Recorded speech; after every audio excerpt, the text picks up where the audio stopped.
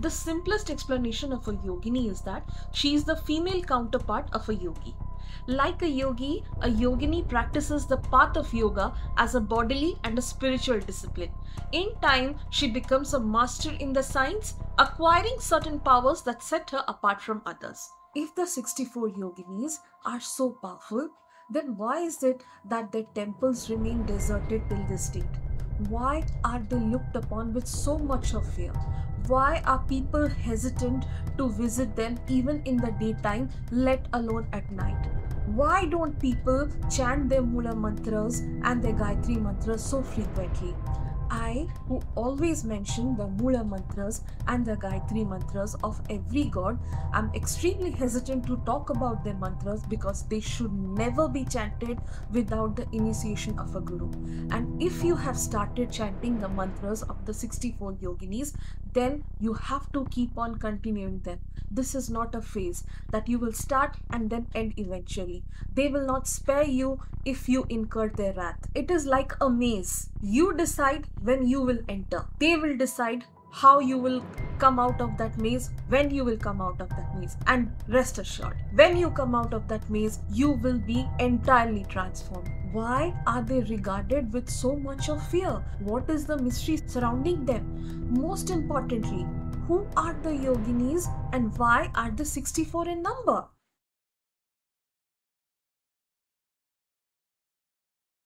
The origin of yoginis can be traced when they were the Grama Devis, the Kula Devtas who safeguarded the villages, the tribal cults, and its inhabitants. In due course, they were consolidated into groups of 64, 81, 8, 16, sometimes 1000, and Tantricism was included into their puja vidhis that gave them an elevated status that heightened their status among the deities. The Skanda Purana and the Chandi Purana state that the yoginis were created from the body parts, the nose, the ears, the navel, the sweat, even the anger of Devi in order to kill Mahisasura. Astrological works mention about eight yoginis who controlled the nine grahas, among which Mangala was the good graha associated with good things, good fortune.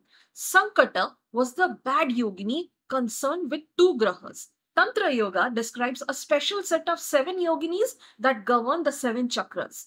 There are 83 yoginis that form the Sri Chakra with goddess Tripura Sundari in the middle. The Lalita Sahasranama mentions a specific name of the goddess as the one who was served by 64 groups or sets of yoginis. The Kali Tantra states Ma Kali or Shyama as being attended by 1000 yoginis out of which 12 were extremely close companions of the Devi. But they are not the 64 yoginis. The 64 yoginis are related to Shiva and Shakti.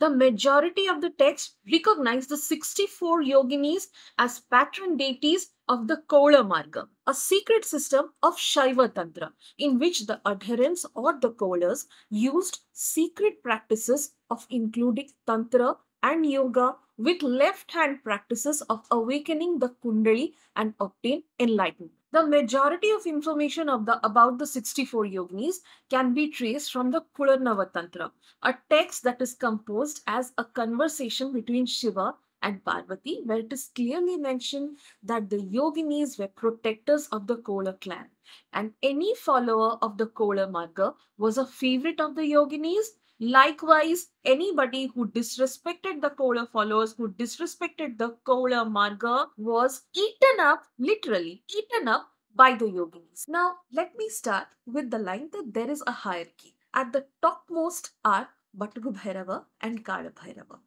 After them come the Ashtabhairavas who have emerged from the eight directions of Kala Bhairava. The Ashtabhairavas combine with the Ashtamatrikas to form the 64 yoginis and the 64 Bhairavas, worshipping whom gives one different forms of materialistic ambitions, spiritual ambitions, financial ambitions, and any other siddhis that they desire for. Now, it is going to take the whole day to talk about the 64 yoginis and the 64 bhairavas. Let me just elucidate briefly about the first three yoginis and bhairavas in the PDF mentioned below, we have mentioned about or we have mentioned who exactly are the 64 yoginis and who are the 64 Bhairavas. But let me tell you about the first three yoginis and Bhairavas. Now the 64 Bhairavas were guardians of different direction and their worship resulted in elimination of external and internal en enemies, obstructions or any hurdles to your path.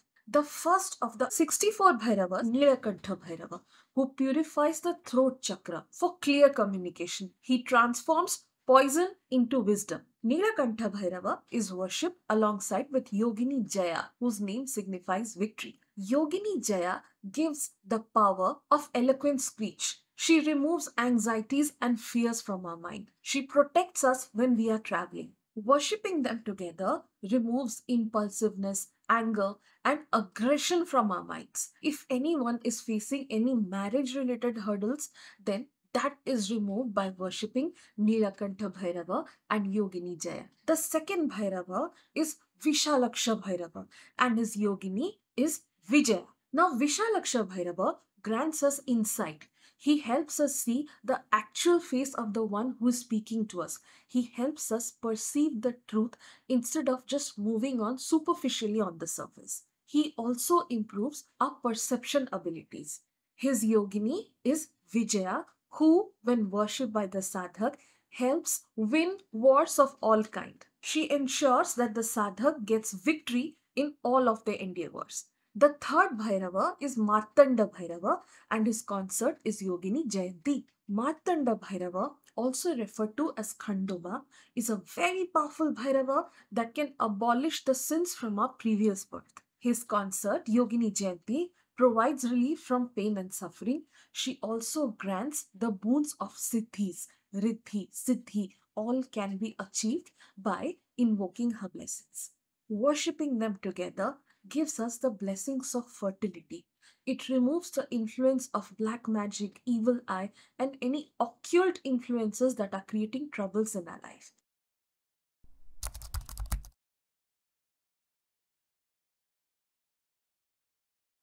Which brings us to the next question. Why 64 yoginis?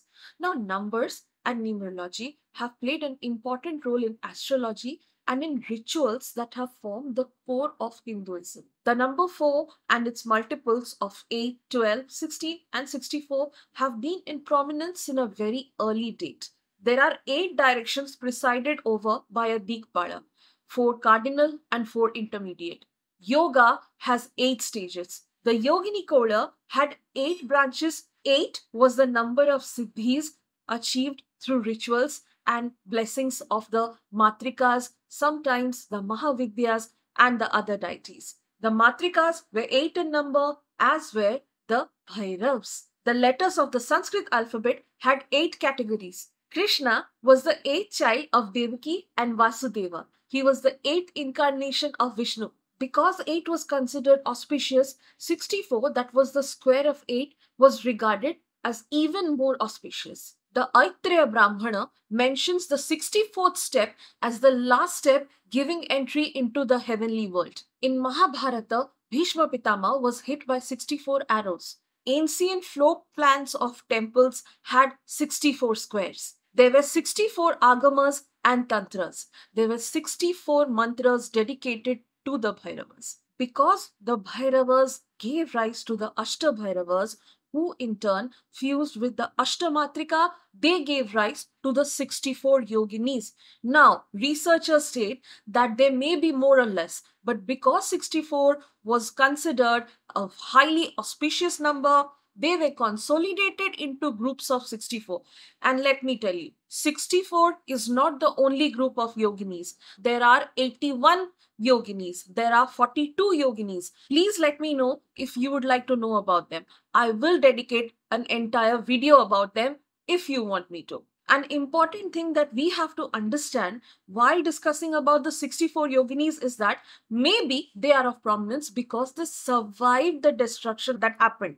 There were a lot of things that happened resulting in the decline of the yogini cult. But even before their decline, they were of prominence. There were groups of 64 yoginis that have been described as being guarding the directions presiding as a deity. There are yoginis or the Chausath yoginis that can grant you the wishes of Ashtasiddhi, that can grant you Ichha Siddhi, Vak Shakti, everything that you wish for if they are pleased. Most importantly, the 42 and 81 groups of the yoginis or the literature about them unfortunately has not survived but literature regarding the 64 yoginis has survived till this date because of which we can gather a lot of information about them.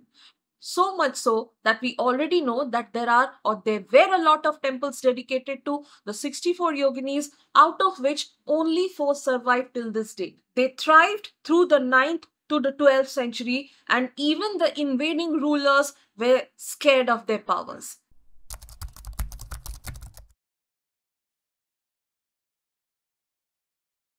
In simple words, in order to understand the 64 yoginis, we have to understand the Kularnavatantra. The Kularnavatantra, if we want to understand in very basic concept, is like a yin and yang. Like there is a yin and yang in the Kularnavatantra, there is Shiva and there is Shakti. Shiva is Akula. He forms the basis of the Kularnavatantra. And Shiva in this case has three Shaktis. Sometimes the three Shaktis are the three gunas, Satvik, Rajasic, Tamasic. Sometimes they are part of the letter Om, A, U, Ma, Om. And sometimes they are the three aspects of Ichha, Jnana and Kriya. Now, Kula is defined as the state in which the mind and the sight are united the sense organs lose their individuality. Shakti becomes identical to Jiva by emerging into the object to be visualized. Jiva is Shiva. Shiva gives identity to Shakti. Shiva is Akula, one part of the yin. Shakti is Kula, or the other part or the yang. And the three aspects of Shakti, Ichha, will, Jnana, knowledge, Kriya, creativity. When the three aspects of Shakti are taken into Shiva, they give rise to the ultimate enlightenment or mukti. Shiva, in his Rudra aspect, becomes Bhairava, who then assumes the aspect of eight Bhairavas Asitanga Bhairava, Ruru Bhairava, Krodha Bhairava, Chanda Bhairava, Unmata Bhairava, Bhishana Bhairava, Kapala Bhairava, and the last Samhara Bhairava. They merge with the eight Matrikas that are Brahmani, Maheshwari, Kaumari, Vaishnavi, Varahi, Indrani, Chamunda and Chandi in order to give rise to the 64 yoginis who form the Yogini Kaula in order to go beyond the Ichha, Jnana and Kriya of the sadhak and awaken the Kundalini. The Yogini Kaula helped achieve different types of powers. The power to see from a distance, the power to obtain great speeds, the power to become invisible, the power to prevent decay, the power to control creation and destruction. The highest state is obtained when the mind is not fixed on any object of this world. It attains the state of unmana or when the mind is turned upwards and it goes beyond the scope of Kula and Akula. That is the highest point of the sadhak that can be achieved through invoking the blessings of the yogis. Through the yoginis, a sadhak can obtain the state of pasatobham, a state in which you can make any nets, that is, any ploy created by the enemies to trap you, to destroy you, to kill you, ineffective. The power of kramanam, that is to enter someone's body the power of haranam, that is to take something from somebody. Pratima jalpanam, to make an image or a statue speak. Ghatapasa nasfotanam, the power to break stones and pots. These were the basic powers. In higher states, the powers were that of marana, to kill somebody. Uchhatana, to create troubles in somebody's life. Stambana, the power to stop somebody. Moha, the power to make someone unconscious. Akarshti, to attract. Vasham, to control someone. They had the power to make you popular, remove diseases from your life, improve your sense of distant hearing, remove old age, death, decay. They could even help you attain different forms. Now, the yoginis that stay in the places of pilgrimage, they are the chief Shaktis. They are connected with the pithas like Kamarupa, Udyana, that are the current day Kamakhya and Odisha, which is what explains the popularity of the 64 yoginis in the Kamakhya temple where they are worshipped alongside the goddess the popularity of 64 yoginis in Hirapur, in Ranipur, inside the complex of the Puri Jagannath temple where they are worshipped along with Mahaprabhu with goddess Vimala. They were also present in the Kshetras, that is the places below the pithas and the upapithas and some of the kshetras where they were present were Varanasi and Prayag. The yoginis were either Sahaja, Kulaja, Antaja Mantraja or Yogaja, out of which the Yogaja yoginis were involved in yogic practices or they were invoked through yogic practices. The Mantraja yoginis were invoked through the use of mantras, esoteric mantras.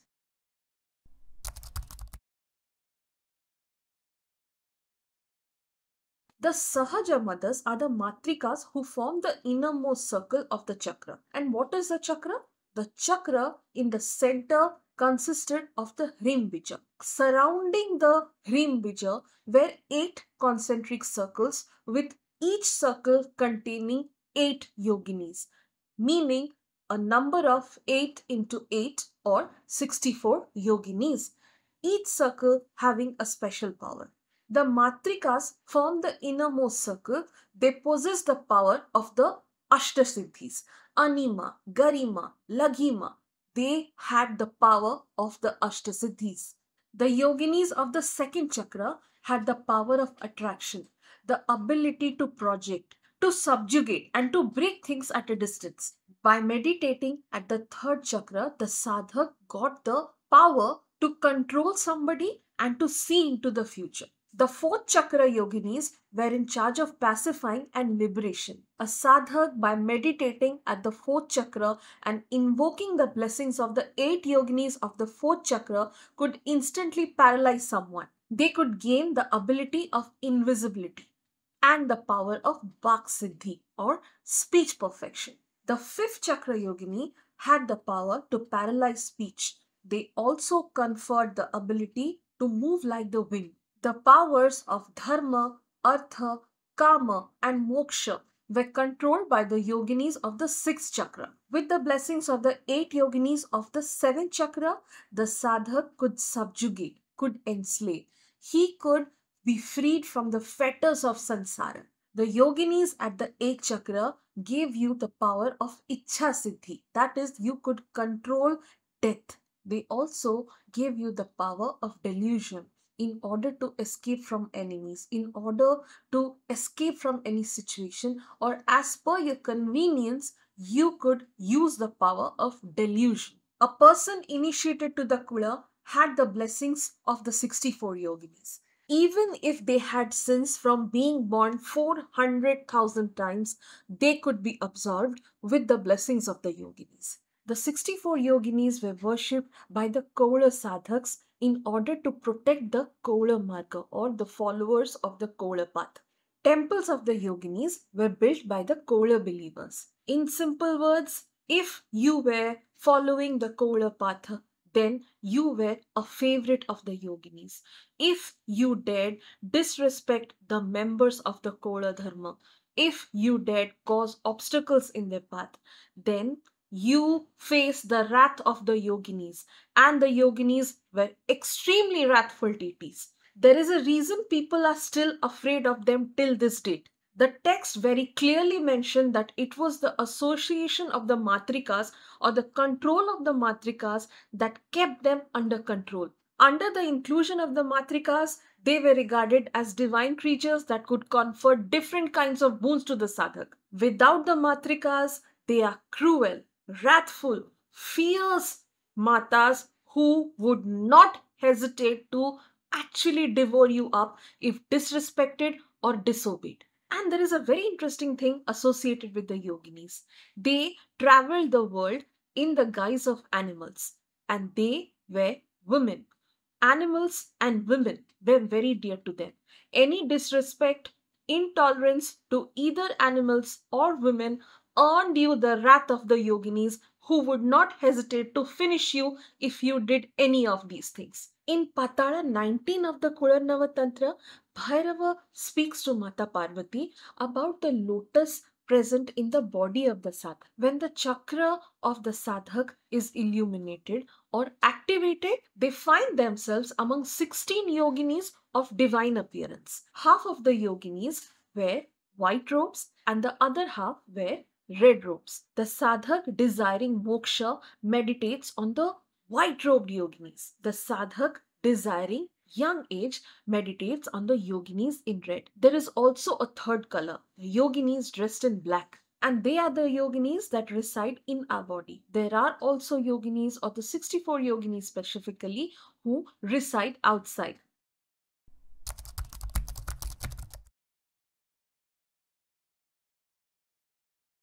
On being asked by the Devi, Bhairava has replied that the essence of knowledge can be found in the house of every yogini residing in Kamarupa, the present house of Ma Kamakhya. And with its help, they practice nigraha, restraint, anugraha, the practice of bestowing favors, and ichha They can grant you every wish that you ask for if they are pleased. Bhairava has further replied that they move about in guise of animals. They assume the form of maidens, birds, and animals when they are under disguise. So you should not disrespect or be unkind to animals or women of any form or you will incur the wrath of the yogis. In the words of Bhairava, yoginis exist as turtle doves, female vultures, female swans, she dogs, female wolves, hawks, owls, tigresses, elephants, and sometimes in the form of horses, cocks, snakes, frogs, stags, and scorpions, as sometimes it can be observed from their vahanas, especially in Hirapur, Odisha. People afflicted by planets, bhutas, difficult situations, obstructions in all paths, kings, lightning, tiger, lion, ailments, elephants, who are afflicted by anxiety producing things from all directions can seek the blessings of the 64 yoginis and be benefited by them. But there are two rules. Actually, there are three. First, no disrespect to the Kaula Marga. Number two, no disrespect or cruelty to animals. Third, and most important, complete and utmost respect to females, maidens, any maiden, or the woman. You cannot show anger of speech or even keep anger in your mind for them. You cannot speak harshly to them. And there is one unspoken rule as well.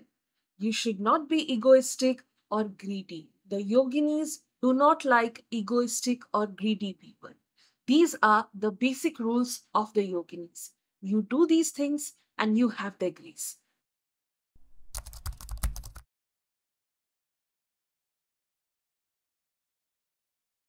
we have to understand that everything that has once started must eventually come to an end. And in case of the 64 yoginis, it was the invasion by the Muslim rulers and rising influence of the Vaishnavites that resulted in a decline of their powers. But even then, there are certain things that we need to understand. First of all, the yogini cult was never popular. They were regarded in awe because of the practices surrounding them. But the Kaulas were a highly secretive clan. Their method of conversing with each other, the puja vidhis, everything was dead secret. So there is no wonder that in a bid to safeguard the secrets of the Kaula, they went into oblivion rather than let out any other secrets that would danger the principles of their dharma. Initially, the yoginis were worshipped through mandalas, after that, their methods of worship were circular temples. Once the patrons disappeared, the temples fell into disrepair and eventually were ruined. But are they ruined? Even now, or till this date, people are scared of visiting the remaining yogini centers. In the daytime, you can go there.